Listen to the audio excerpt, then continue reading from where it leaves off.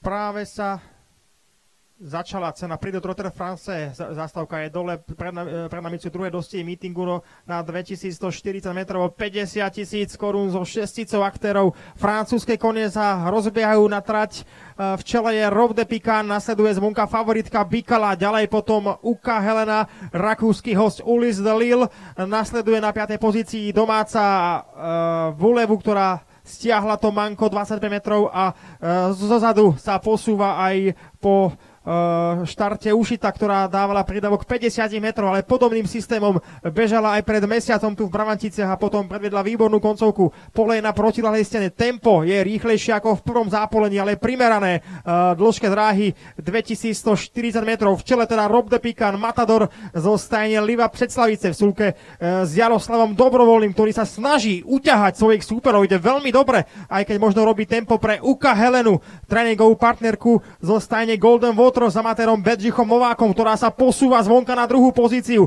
Pri bariére sa snažia zavrieť e, Bikalu, favoritku, e, ktorú naviguje pre stajňu Zochoreserom Mikola Wolf. Teraz veľmi dobré taktické manévre e, Novákovho týmu. Na štvrtej pozícii je stále Rakúšan Wolfgang Kuntner v sulke Ulis de Lille z jeho stajne. Ďalej potom domáca v úlevu na 5. pozícii zostane je s konzorcium s Žiži Svobodom a dotiahla sa už aj Ušita, reprezentujúca Štut Šukalice s Romanom Mateušiakom, popredným polským trénerom. Záverečný kilometr pozbúte kone potleskom do posledného okruhu, ale za to, že teraz už začínajú manévre, vyťahuje sa tam do 3. 4. stopy v úlevu, takisto aj Ušita trošku skoro bude rozdávať metre v oblúku za cieľom.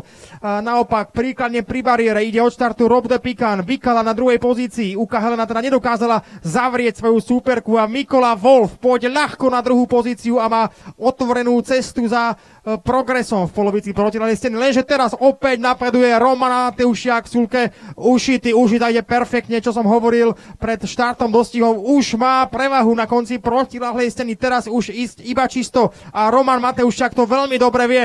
Dostal svoju zverenky na prvú pozíciu. Reprezentantka Štut Šukalice má náskok v záverečnom oblúku dobrých 5-7 dlžok a stále zrýchluje. Bikala je na druhej pozícii. Na tretiu priečku sa ešte zvonka snaží uh, prísť rakúsky host Ulis de Lille. Na štvrtú sa prepadá Matador Rob de Pican. Domáca v Ulevu je piata a s obrovskou stratou Uka Helena. Záverečných 100 metrov rodí sa prvý polský triumf na bravantické dráhe.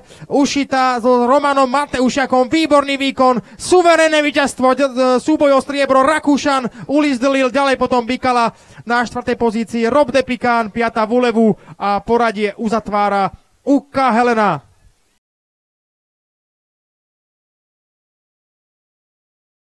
Pán Matejš, ja gratulujem, ja som to hovoril pre štartom, neboli ste favoritom, ale podľa mňa ste k ním patrili, už si tam minule bežala veľmi dobre a vyhli ste sa zacválaniu ako pred mesiacom. Perfektný priebeh, ako ste to prežívali? E, no bardzo przeżywałem, to jest piękny wyścig za granicą. Pierwszy raz nam się udało tak zwyciężyć, cieszę się bardzo.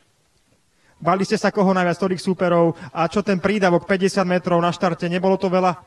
No było dużo, ale udało się tego nadrobiť rovnaká taktika ako pred mesiacom. Čo sa vtedy stalo? Preto ste cválili, dneska to bolo bez problémov. Szybko wyszła z zakrętu i straciła rytm. Tam było z, z dużego pochyłu na prostą wyszła i potknęła się. Veľmi sympaticky, spokojne užíva ten asi prvý medzinárodný úspech na zahraničnej dráhe pre polský realizačný tím. E, predsa len Poliaci neboli zvyknutí behať e, vonku a začali tú tradíciu klusackého športu majú podstatne kratšiu ako my v Česko a Slovensku. Takže Roman Mateušiak opravnene je veľmi rád. Asi ste rozumeli, že teda uh, tie dostihy prežíval a snažil sa vyvarovať tej chybe spred mesiaca a je veľmi spokojný, že Ušita predvedla dobrý výkon. Gratulujeme víťaznému týmu e, polskej stajni Štut Šukalice.